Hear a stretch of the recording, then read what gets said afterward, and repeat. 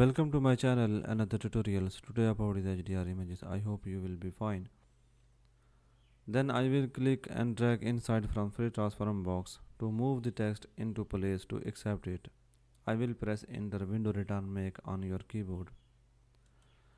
Again I am going to throw this part off rather quickly so we can focus more on how to move an image between Lightroom and Photoshop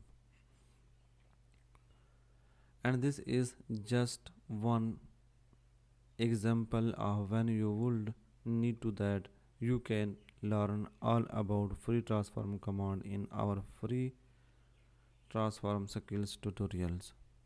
Save and close the image. Here's what my image now looks like in photoshop with the text added.